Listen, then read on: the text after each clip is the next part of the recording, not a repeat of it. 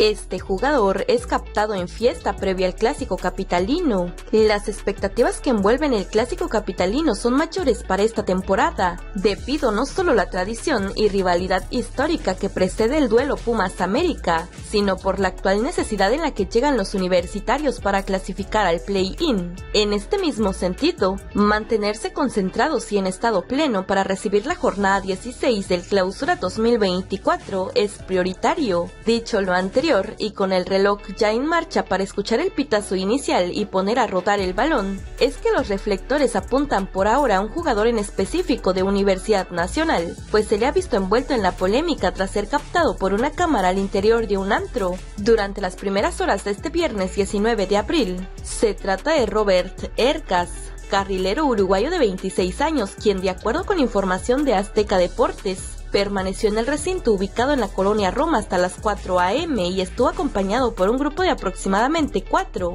ajenas al club felino. Asimismo, tal y como se puede apreciar en los videos compartidos en redes sociales, el saquero sudamericano fue grabado ingiriendo bebidas, aunque se desconoce si estas contenían algún tipo de alcohol, con paso irregular a lo largo del certamen, en donde incluso no se ha podido hacer con un rol protagonista, el lateral sudamericano arribará a este encuentro con las miradas encima por los antecedentes previamente mencionados. No obstante, y para ser 100% sinceros, el tiempo de espera entre un evento y otro no es tan reducido como en otros casos similares dentro de la Liga MX para calificarlo como indisciplina. Robert Ergas acumula 406 minutos en este clausura 2024, jugando 13 de 15 partidos, solo en dos formó parte del once inicial. De momento el equipo no se ha pronunciado al respecto, sin embargo, la afición se ha mostrado inconforme con estas acciones del jugador, debido a que el partido es crucial para los Pumas, ya que además de ser clásico ante América, los universitarios se juegan una final pensando en la clasificación.